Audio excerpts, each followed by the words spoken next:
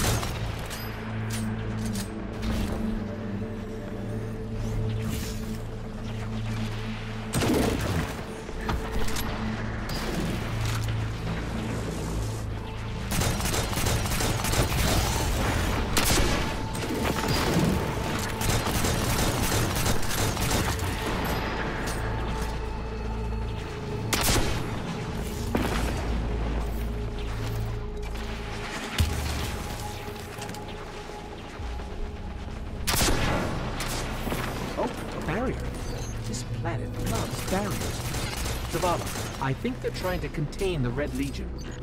They have bigger problems, namely